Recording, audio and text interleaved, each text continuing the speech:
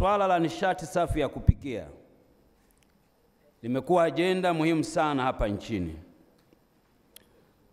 na duniani kote, na hii si kwa bahati mbaya, ni kwa sababu Mheshimiwa Dr. Samia Suluhu Hassan, Rais wa Jamhuri ya Muungano wa Tanzania, ndio amekuwa kinara wa ajenda hii hapa Afrika na ambayo safari yake alianzisha toka Novemba mwaka 2022. Tunalo tatizo kubwa kwamba duniani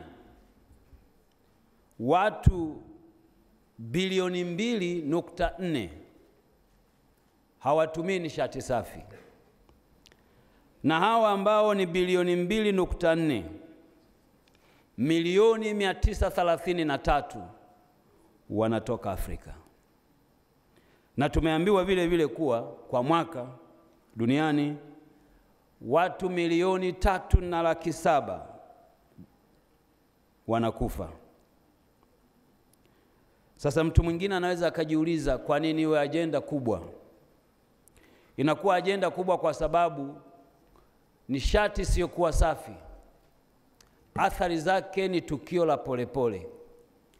Hauwezi kuliona mara moja kama kipindupindu ama magonjwa mengine, lakini taratibu linapunguza nguvu kazi ya nchi yetu na bara letu la Afrika. Ni Wakati wamekwenda kutafuta kuni matendo ya ukatili yamefanyika kutokana na kutokuwepo kwa nishati safi kama vile ubakaji na kadhalika. Haya yote lazima yaishe ili tuwe na jamii yenye furaha. Kiuchumi, tumeambiwa watu wanatumia muda mwingi badala ya kuzalisha, wanatumia muda huo kutafuta kuni au mkaa kwa ajili ya chakula. Masaa yanayotumika ni mengi sana, masaa saba kwa wiki. Kwa mfano, mtu anayatumia kwa kazi moja tu ya kupika achilia mbali kutafuta hicho chakula ili aweze kukipika, anatumia muda mwingi zaidi kupika hicho chakula.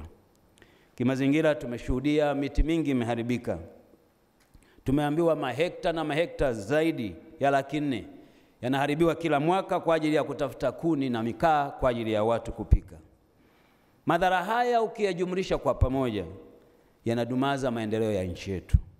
Ndio maana Mheshimiwa Rais ameamua kuweka mkono wake kwenye jambo hili. Anajua likifunguka hili mambo mengi yatafanikiwa.